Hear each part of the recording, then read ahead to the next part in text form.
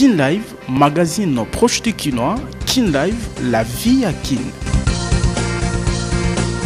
boyei malamu bandeko balandi na manaka kin live ya lelo bansango na mokuse yango yo situation sécuritaire na est ekolo congo démocratique mayangani ezali kokoba kolengelama na mokonzi ya mboka vendredi oyo félix tshisekedi alengeli mayangani mibale ya motuya Yambo na gouvernement Suminwa babengi reunion strategique mpe ya mibale na task force ya haut commandement militaire wapi likambo ya trêve humanitaire États-Unis esengi ezalaki na mesa.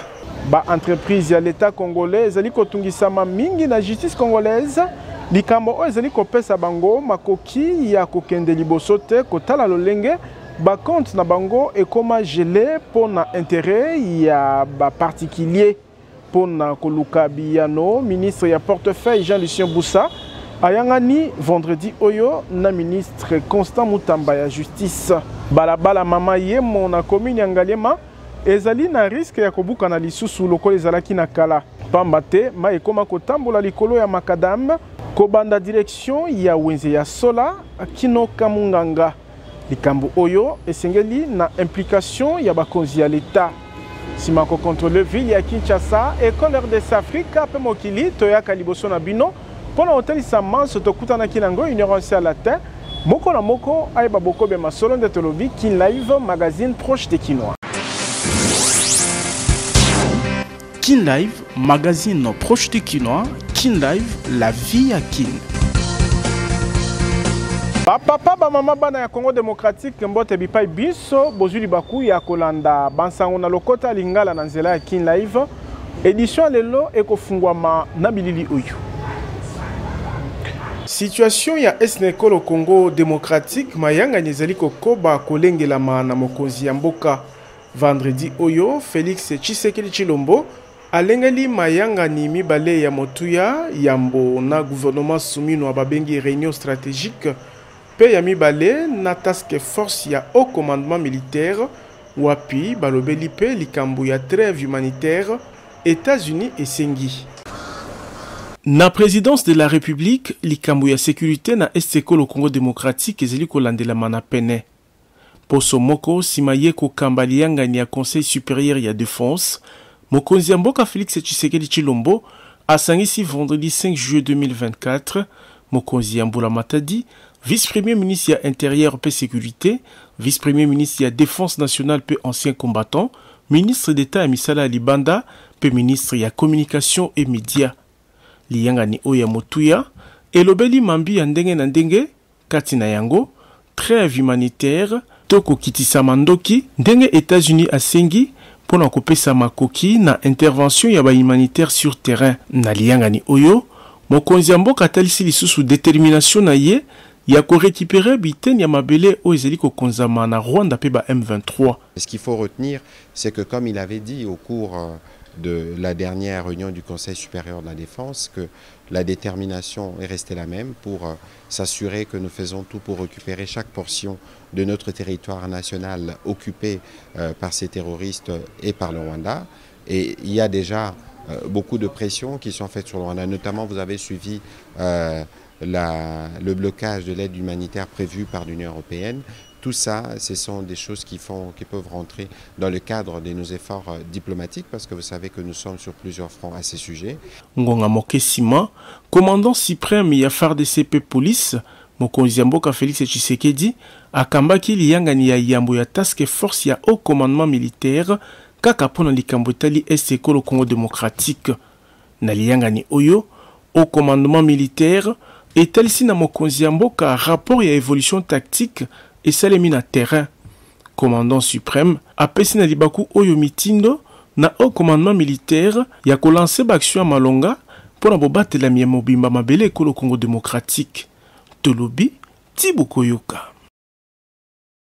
Mokonzi ya mbulamatadi Judith Suminwa Tuluka ayambaki na ndako na ye ya mosala delegation ya HCR mpe coordonnateur ya système ya Nations Unies, mokambi ya misala to ba operation humanitaire wapi HCR ebi na ko denoncer degradation ya situation humanitaire na est ekolo Congo démocratique kolandisama na misala mabe ya masanga ya batomboki. Delegation ya HCR na bokambami ya representante na ye na ekolo Congo democratique, Angèle Dikonge, oyo mokonzi ya mbulamatadi Judith Suminwa ayambaki liboso, etalisi disponibilite ya kopesa maboko na programme d'action ya mbulamatadi na maye matali bobatelami mpe lisungi ya ba deplaces internes to ba refugies na ba apatrides, babyangami ya mokonzi ya Mbula Matadi basengi na libaku oyo botosi ya bikateli to ba engagements Ekolo Congo democratique ezwaki na libaku ya Forum international ya 2019 mpe 2023. HCR esengi ete ekolo etya mokoloto na boyokani to convention ya 1954 etali statut ya ba apatrides, mpe ya 1961 etali reduction ya ba cas ya ba apatridi. Na likambo etali bitumba ekolo Congo democratique ezali kobika, agence ya Nations unies oyo etelemeli misala mabe ya masanga ya batomboki.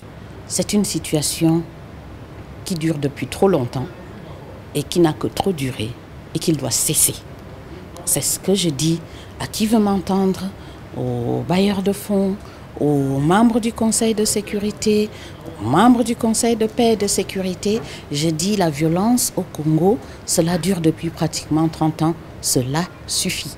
C'est de trop. Komanyola boyokani ekweya lobi ezali mama na likambo esimbaki masolo kati na mokonzi ya mbulamatadi Judith Suminwa mpe Bruno le Marquis, mokambi ya ba opération humanitaire na ekolo Congo démocratique. Nous avons échangé sur la situation humanitaire dramatique à l'est de la République démocratique du Congo, y compris suite au dernier, au dernier développement à l'est euh, dans le territoire de, de, Lubero. Euh, voilà donc euh, également son rôle en tant que Première ministre pour assurer aussi un, son engagement en faveur de l'action humanitaire. Balobela kolongwa ya monisco na mabele ekolo congo démocratique Awa, abetaki sete na oyo etali motuya ya kosala makasi na ntina ya bobandi ya transition na eteni ya Sud-Kivu. Na moi ya lelo, ekolo Congo democratique ezali na 7.3 millions ya ba deplaces, koleka motango ya 40 pourcent na Ituri, 30 pourcent na Nord-Kivu mpe 20 pourcent na Sud-Kivu.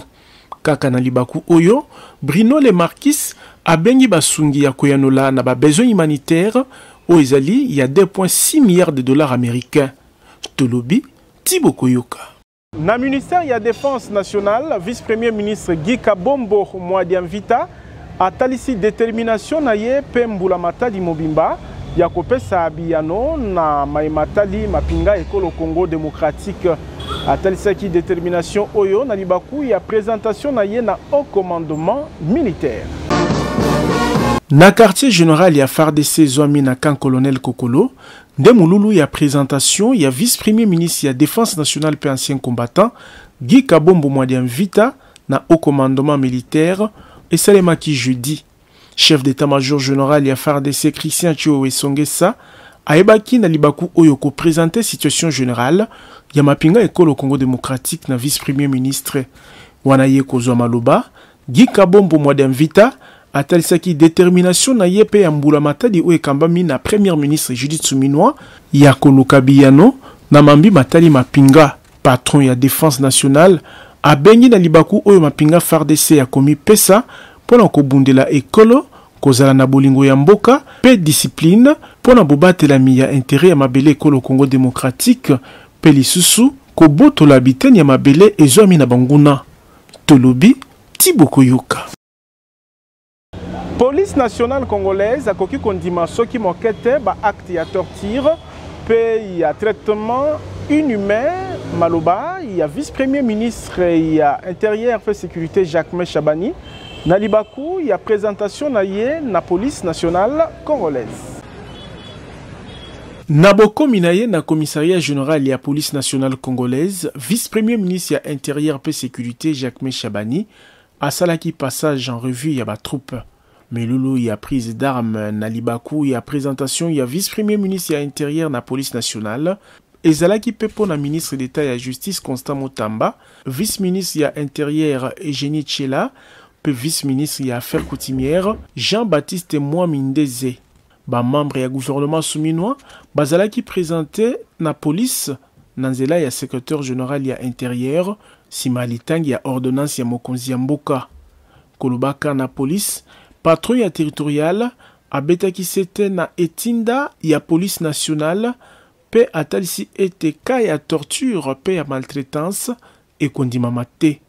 Maitre Jacquemain Shabani azwi ekateli na libaku oyo ya kosala makasi mpo na kobatela bato mpe biloko na bango na etumba ya police contre phenomène kuluna. la politique generale de la conduite de la police afin que le gouvernement de la Republique puisse assurer le financement et l'elaboration de la loi de programmation de la police nationale congolaise pour la, pour la professionnaliser et lui permettre d'éliminer en particulier les poches d'insécurité urbaine et rurale et en général, sécuriser les personnes et leurs biens en restaurant l'autorité de l'État sur toute l'étendue du territoire national. Simaya discours, defile ya badifférente unité ya polisi esalemaki liboso ya vice-premier ministre ya intérieur mpe sécurité Milulu oyo esukaki na foto ya famille, yambo ya cocktail, commissariat general ya police ebongisaki Tolobi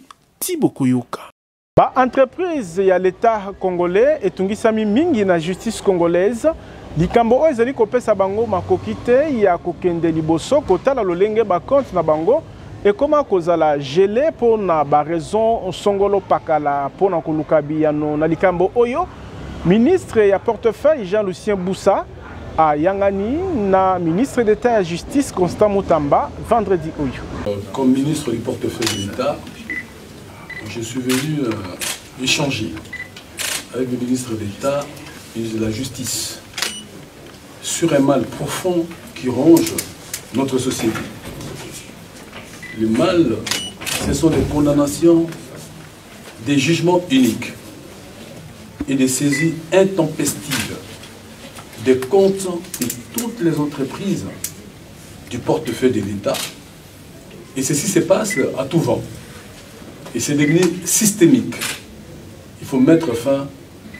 à cette situation-là. Parce que ce type de jugement et la saisie des comptes de ces entreprises a un impact négatif sur le développement de ces entreprises. Dans l'Assemblée nationale, rapporteur Jacques Njoli, Ayambaki délégation, il y a député, il y a Chouapa, oyo bayaki kotalisa bakokoso ezali kotungisa eteni wana ndakisa lifuti ya basali ya leta mpe conflit oyo ezali na teritware ya befale na ndako na ye ya mosala rapporteur ya assemblée nationale jacques njoli ayanganaki na delegation ya caucus ya badepute nationaux ya chuapa bayaki kotalisa mikakatano ezali kotungisa eteni wana ekolo congo démocratique kati na yango likambo ya lifuti ya balakisi mpe ya basali mosusu ya leta pamba te kino lelo banque commerciale ezali te hier on a parlé de quelque chose avec le président et puis nous devions lui dire aussi parce que le paiement des agents de l'État, de l'enseignement, tout comme des agents de fonction publique au niveau de la province de la souffre encore une fois. On ne sait pas comment arriver parce qu'il n'y a même pas une banque commerciale sur place et ça pose problème. Mais à son niveau comme euh, euh, rapporteur national, Il devait aussi être convié de la question pour que nous puissions voir dans les jours qui viennent qu'est-ce qu'on peut faire. Na koyoka président ya kokisi ya baponami ya Trump Celestin Ingelemba na bokutani oyo esalemi yambo babanda vacances parlementaires na bango, balobeli mpe likambo ya bozangi boyokani nsima maponami na territoire il y a aussi euh, beaucoup de choses qu'on a, parlé notamment la question de la, compréhension un conflit post-électoral qui est au niveau du Befalé et nous pensons que euh, nous pouvons voir comment euh, descendre sur le terrain et pourquoi pas aussi parler de la gestion de l'environnement dans la province de la Chopa, parce qu'on n'a pas une autre source Que la forêt loue et les tourbières. Caucus ya ba deputes nationaux ya Tshuapa epesi longonya na kombo ya population ya etuka na rapporteur Jacques Ndjoli oyo azali mojalisi ya Tshuapa na bureau definitif ya Assemblee nationale. Tolobi ti bokoyoka. Na vice-ministère ya justice mpe contentieux international, maître Samuel Mbemba oyo akambaki liyangani na groupe de travail abengi bango ya kolandela na bokebi ba contentieux wapi epai ekolo Congo démocratique esengeli korekipere misolo. Liyangani oyo ezalaki na ntina ya kolandela na mozindo ba contentieux etali ekolo Congo démocratique mpe biteni mosusu mpo na komanyola lolenge kani lifuti ekopesama mpe kotya na esika ba strategies d'action mpo na vice-ministère na maye matali secteur oyo. Mpo na vice-ministre Samuel Mbemba Kabuya, groupe de travail esengeli etala mpe likambo ya ba contentieux etali Congo democratique oyo esengeli kozwa misolo na bikolo mosusu mpe bato oyo bazali na banyongo ya mboka. Na liyangani ya motuya oyo, nzinganzinga ya vice-ministre ya Justice mpe Contentieux international, ba delegations ya ndenge na ndenge mpe bazalaki, ndakisa ya Presidence de la Republique, ya Primature, ya Ministère ya Finances, ya Ministère ya Affaires etrangères, ya Banque centrale mpe ya Direction generale ya Dette publique. Tolobi ti bokoyoka. 25 militaires ya FARDC bazali condamné na peine de mort mpo na libunga babengi fuite devant l'ennemi wana bango na bitumba liboso ya batomboki ya M23 mokano ezali ya tribunal militaire garnison ya Butembo. Tribunal militaire ya etuka ya Nord Kivu, garnison ya Butembo oyo ezalaki kosiege na audience foraine na village Talibongo epesi mokano na ye na likambo ya 27 militaire ya FARDC mpe basi ya basoldat minei oyo ezalaki kolandela ezali na pokwa ya mercredi 3 juillet nde capitaine magistrat Biamungu apesaki etumbu ya mbula zomi ya boloko na basolda mibale mpo na moyibi mpe 25 mosusu bazwi etumbu ya liwa to peine de mort mpo na libunga babengi fuite devant l'ennemi, violation des consignes mpe mosusu. Basi ya ba soldats minei, bango bazwi bonsomi mpamba te implication na bango ezalaki prouvee te. Mokano ya tribunal militaire eyambami malamu na population ya Tali-Bongo mpe nzinganzinga na yango.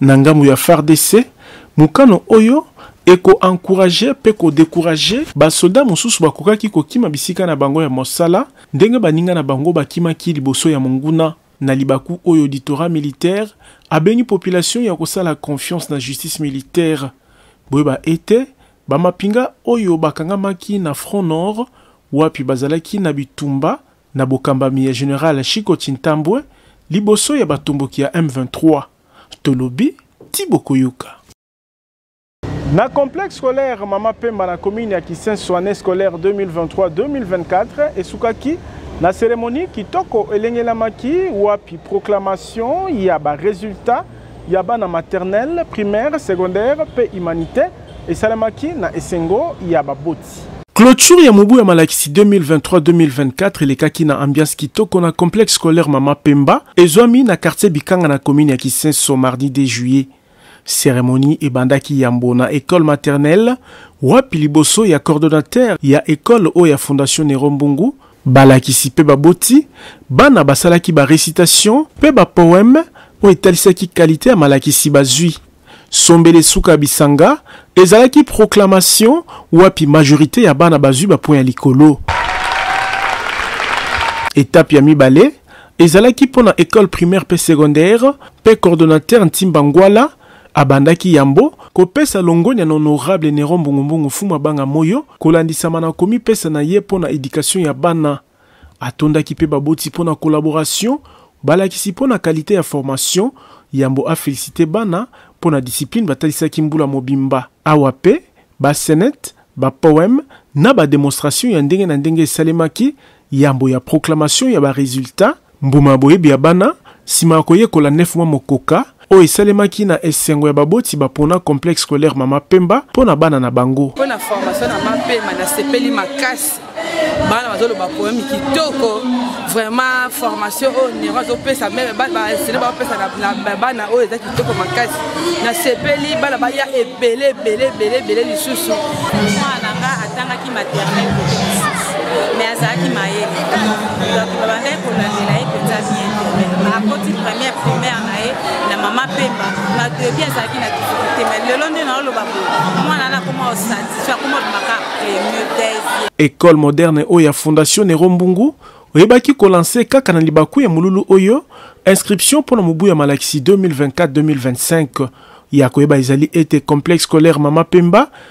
Ezali na cycle maternelle, primaire, secondaire mpe humanites na ba options lokola mecanique generale, electricite, electronique, construction, coupe et couture na biologie chimie. Na ecole oyo ya Fondation Nero Mbungu, ba laboratoires mpe ba ateliers ya kafu kafu ezali mpo na kosangisa theorie na pratique na ntina ete bana bazwa boyebi ekoka.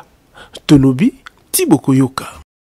Lolenge moko mpe na complexe scolaire Sainte Thérèse de l'Enfant Jésus, année scolaire 2023-2024, euh, esukaki engebene manaka ya mbula matadi na esengo wapi sere directrice euh, Thérèse Mampuya abengi baboti ya kokoba na encadrement ya bana ata na eleko ya vacances.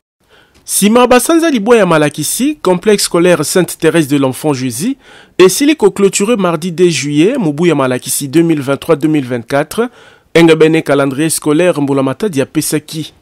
Molulu esukisi misala na etelo oyo ezwami na commune ya Ngaliema esimbamaki na bangonga mibale ya makasi. Ba discours ya ba presidents ya ba élèves, ya comité des parents mpe ya direction Wana ye kozwa maloba, Orley Mbumbudi Nzuguwanda, president ya ba elèves ya complexe scolaire Sainte Therèse de l'Enfant Jesus, apesaki matondi na bakambi, balakisi, baboti mpo na komipesa na bango na ntina ete bana bazwa formation ya qualite. À travers ce mot qui marque la fin de l'année scolaire 2023-2024, en ma double qualité du président des élèves et finaliste, je remercie au nom de tous les élèves du complexe scolaire Sainte-Thérèse de l'Enfant Jésus, d'abord l'éternel Dieu de nous avoir protégés durant toute l'année scolaire, mais aussi à la révérende sœur directrice Thérèse Mambouya, à toutes les révérendes sœurs, au personnel administratif, à nos chers enseignants ainsi qu'à nos aimables parents. Vous avez été d'une grande importance pour notre éducation durant toute l'année. Malgré nos caprices et faiblesses, vous étiez toujours là pour nous former et montrer le chemin à suivre. Trouvez ici toute notre gratitude pour vos multiples sacrifices consentis. À nos petits qui vont rester, demeurez disciplinés et polis vis-à-vis de nos enseignants, mais aussi de nos aimables parents. Président et comité des parents à Makembi, Na nkombo ya baboti banso, atondi ecole mpo na boyokani malamu. Surnumeraire ya Sainte Therèse, Madame Lina Luwawu na ngambo na ye, atondi baboti mpo na molende batalisaki mbula mobimba mpe abengi bango ya kokoba na encadrement ya bana na eleko oyo ya vacances. Nsima, Sœur Directrice, Therèse Mampuya, asalaki proclamation ya ba trois premiers ya classe moko na moko oyo apesaki bakado lolenge basali bokeseni. Sœur directrice amipesi mpe longonya lolenge atosi mitindo ya gouvernement. Naza na esengo parce que to respecter ndenge bakonzi ya ekolo basengaki biso na date ya le 2 juillet toyeba clôturer l'année scolaire 2023-24 bana bazokende vacances nalobi kaka na baboti bakanga maboko te bayeba kosurveille bana na ezali te ke bana baza na vacances batika bana basala lokola bango balingi te discipline ezalaka partout même pendant les vacances bayeba kosurveille bana biso totiki bana bakei bien bana mpe bazongela biso malamu na ambiance kitoko nde molulu oyo esukaki na esengo ya banso ya koyeba ezali ete bozongi ya malakisi mpo na mobu 2024-2025 ebongisami mpo na le 2 septembre ezali koya Tolobi ti bokoyoka. Kobembuka na mikili ya Etats-Unis, Canada, Europe na ba Etats Schengen mpe bipai na bipai ekomi facile na nzela ya agence de voyage Tour du Monde Service oyo ezali kopesa visa na bato banso. Ya sika eye na agence de voyage Tour du Monde Service. Ba papa, ba mama, bilenge basi pe mibali botelema po mokonzi ya masolo ya visa na Kinshasa alobi moto nionso oyo abungaki nzela zonga na molongo pamba te na TMS erataka te. Olingi okende Etats-Unis d'Amerique na facilite, Canada, Europe na ba etats Schengen pe bipayi mosusu, agence de voyage Tour du monde service ezali kobeta yango dada lokola bale pe ozui visa na yo na pete. Awa mikili ya poto eloko pamba. Ezala ba wewa bazo zwa visa tembe eza te po tour du monde service evandisa masolo ya assistance visa na professionnalisme nioso ndenge ye moko le DG le plus competent Jean Pierre Basanga alobaka quand on connait on connait quand on connait pas on apprend. Tala wewa akomi canadien na pete. Kobukana te ndeko, olembi koluka visa na ngomba ya mangengenge na ba jeune pe prière, Temps na yo ekoki po agence de voyage tour du monde service mopangusi pinzoli aye. Ozo luka visa en singleton, couple to libota mobimba, na TMS visa ezo pesama. Merci vraiment na agence ya TMS na oyo basali mpo na ngai bakompani nga ntina ya yoko. Promotion mpe ezali olingi visa d'étude na Canada, États-Unis d'Amérique mpe Europe ezopesama na 1200 dollars. visa touristique na 1100 dollars. Bureau ya Tour du Monde Service ezali na numero 5151 ya balabala Kasavubu, quartier Matonge 1 commune ya Kalamu, référence Carrefour des Jeunes. Oyo tolobaki te, tolobi ti bokoyoka. Police nationale PFARDC esalaki inspection ya ba troupes ya Task Force ezalaki déployée na ba points chauds ya capitale na koyoka commissaire Provincial ya police ville ya Kinshasa constat ezali malamu pamba te ngala ya misala ya ba criminel ebandi kokita. E kosengana wana elandanaki na ba milieu babengaka criminogène ba quartier nyonso bande koyoka sanatorium Selembao nde esika tozali awa bumu makala bisika touti elongo na yo partout tokendaki koconstate déploiement wana soki epesi ndenge nini na population nde oyo tobengi inspection tomoni ke population ezali ya kosepela na opération oyo mixte mpe tozali kokoba na yango kino kino kimia ekokota mpo ete omoni bamosusu bakimi ngambo oyo babandaki kosala kala bakei kote oyo eza lokola ya sika mpo na bango mais contrôle oyo epermettre biso koidentifie ke bakimi awa bakei kote mosusu kuna mpe tokolanda bango e jusqu'à leur dernier retranchement toprofite mpe ko contrôler operation nyonso touti ko lancer na banza oza koyoka toleki esika ba bar nuisance sonore ezali te omoni toleki matonge toleki kingabwa toleki bumbu selembao partout esika toleki kimia ezali nalobaki yango na ebandeli balabala mama yemo na komi nyangaliema ekomi na riske ya kobeba lisusu lolenge ezalaki na kala pamba te mayi ekomi koleka na balabala kobanda bokutani na yango na direction Sola kino quartier Camp Munganga, likambo oyo esengeli na intervention ya bakonzi ya l'Etat. Kinshasa oyo ezali na kokoso na likambo ya banzela, kasi ndambu oyo ezali na etat ya malamu, suivi ya malonga ezali te. Tozali na balabala Mama Yemo oyo ebandi na DGC kino terminus ya pompage. Nzela oyo ekatisi ba quartiers ebele ya commune ya Ngaliema ezali na risque ya kokatana to kosala mabulu pamba te mayi ekoma koleka na macadam kaka ndenge bozali komona. Kobanda direction ya wenze ya Sola kino Kamunganga, ba canalisations nionso ya mayi etonda na bosoto mpe mayi efungola nzela mosusu na balabala. Situation oyo esali ba mbula ebele kasi solution moko ezwamaka te. Sikoyo toza na elanga, mai ezokauka te, ba tuyau ya rigide ezotoboka banda na DGC na avenue Lovo. Mai ezoya avenue Lovo wana, eh, avenue Lovo ti eye ekiti arret Sola. Soki ekomi na Sola wana na, na police ya Sola ekiti ekoti makadame. Ekoti makadame ekoti na baterase, baterase ebusha mai wana ezo deborde ezotambola prince mobimba place kotia likolo eza te chaque jour tonyataka mai sikoyo ezali lokola echec ya leta soki biso tokomi kokongola bambongo na bakartier mpo tobongisa eza volonté mais eza echec ya leta soki bandeko baza na volonté wana tozala mwa mingi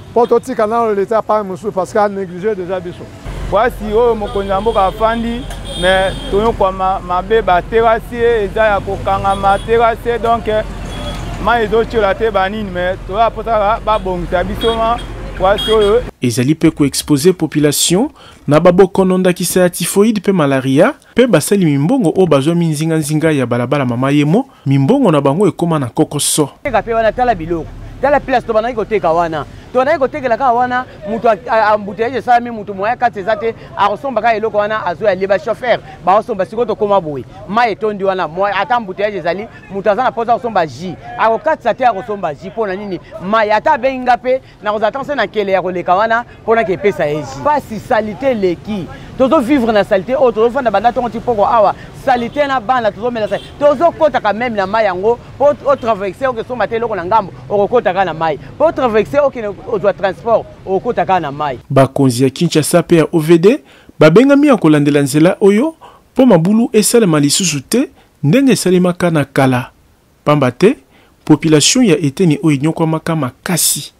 Tolobi tii bokoyoka. Kin Live, magazine proche du Kinois, Kin Live, la vie à Kin. Awa nde magazine Kin Live esuki, tozalaki na esengo ko presenter bino yango. Na kombo ya equipe technique pe redactionnelle, totondi bino botondi, kasi ekosila bongo te tika totombela mbotama elamu na Jean-Claude Kigui Shina Mibubu oyo azali kosouffle na bougie moko de plus na bomoi na ye. Magazine Kin Live etombeli ye mbotama elamu Jean-Claude Kigui Shina Mibubu. Magazine Kin Live etombeli pe mbotama elamu na Christophe Eboboko oyo azali ko souffler na bougie moko de plus na bomoi na ye na kombo ya Docteur Roger Lutunu totombeli yo mbotama elamu Christophe Eboboko totombeli pe lisusu mbotama elamu na Eliakim Monga oyo azali ko souffler na bougie moko de plus na bomoi na ye na kombo ya Patrick Asimba totombeli yo mbotama elamu Eliakim Monga sima kamera ezalaki Fabrice Ebengo Botikala na kimia na mabota na bino, Kin Live ezali kokoba.